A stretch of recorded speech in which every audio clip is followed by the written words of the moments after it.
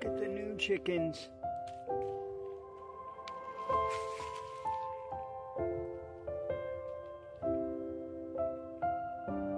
That.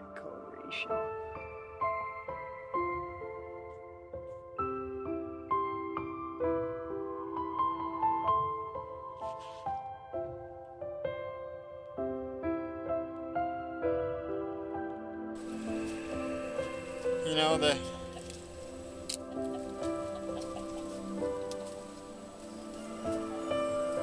They are beautiful birds though. They still got plenty of ability to get some light in there. And they'll be good like that.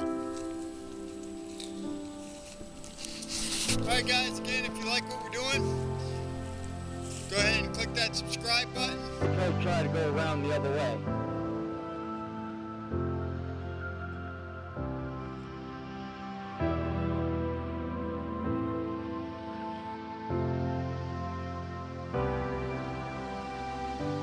Oh, there he goes.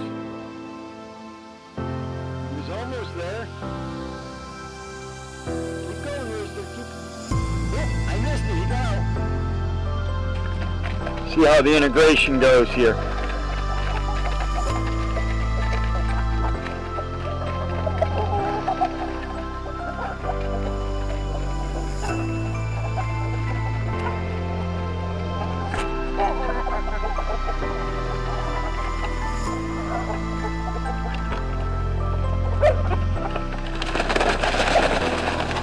Uh-oh.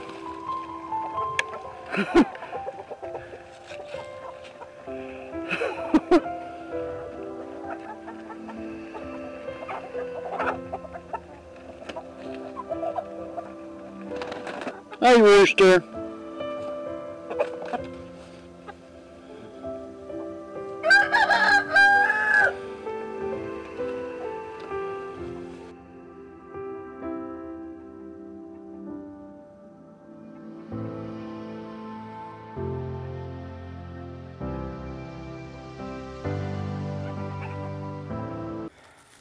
Well, guys, I just got rid of my favorite rooster.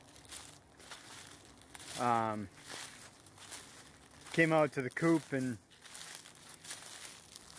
I just saw him laying there. He was dead underneath the run. That is actually why I made my coop the height that I did, which that if anything ever happened to one of my chickens under there, I could go and get them. So I'm glad I did.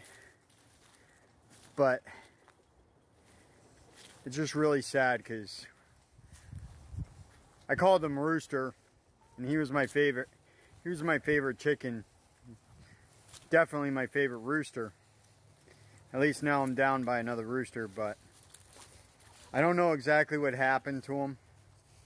Um, I think what happened is we've got a hole in the in the run here. I'll show you again.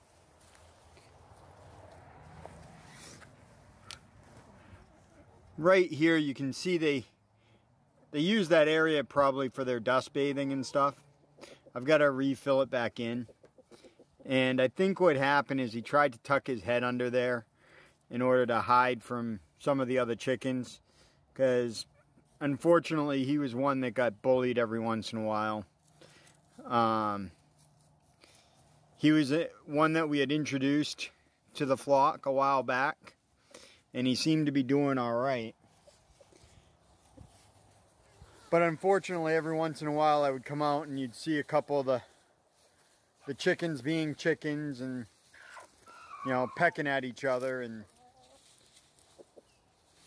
he usually hung out by himself but I think what probably happened is he got in that corner he tucked his head in that underneath that wire and then a couple of the other roosters probably got on him. It's the only thing I can think of but again, unfortunately, he was my favorite rooster. It's a very sad day on our on our homestead. We still have other roosters, so we'll still hear the crowing and everything, and obviously things will move on. But this type of thing happens on a on a homestead. If you're raising chickens, you're gonna, or any type of animal, Eventually you're going to have one die on you. But unfortunately, I mean, I can't help but think it was my fault. I left them in there. You know, I, I knew they weren't getting along 100%, but you see them do that type of stuff all the time. And I think it was just the positioning he positioned himself in, and it just didn't do well. But chickens are enjoying this area over here today. I just let them out because in order for me to get Rooster out of there, I had to let the chickens free range so that I could get under the, so that I'd be able to go under the coop. But I'm definitely going to have to fill in that hole. I've got plenty of dirt over, over there. I've got plenty of dirt I can use. I'll have to bring that in and fill that hole back up.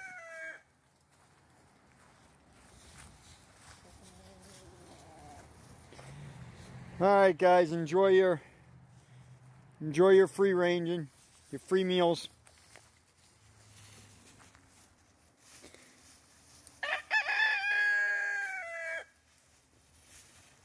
He was doing fine this morning. He was running around and everything. So it happened today while we weren't here.